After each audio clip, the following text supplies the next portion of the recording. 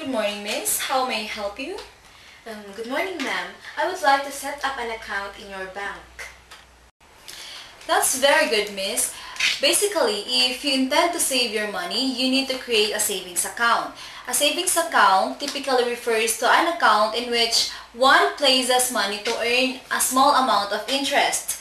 Our initial deposit is 5,000 pesos. And in setting up your account, I will be needing some information from you. Okay.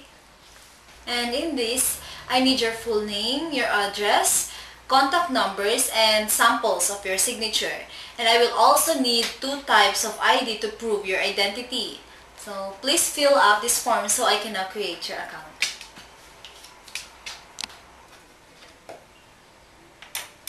Here you go, ma'am.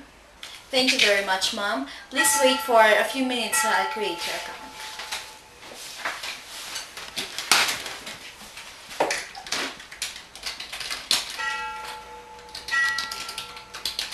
Okay, now that we have created your account, you can now make your first deposit.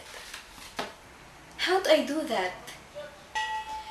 Okay, miss, here's a deposit slip. Depositors like you should fill up this deposit slip to indicate what types of funds are being deposited and which accounts they should be deposited into.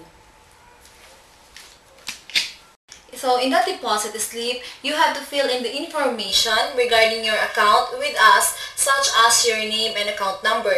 With the information you will provide us, we will be able to properly record the money you are depositing in the bank so that every time you deposit money in your account, please always fill up a deposit slip.